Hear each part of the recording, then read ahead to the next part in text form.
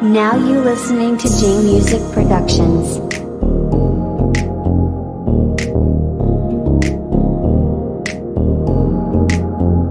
J Music.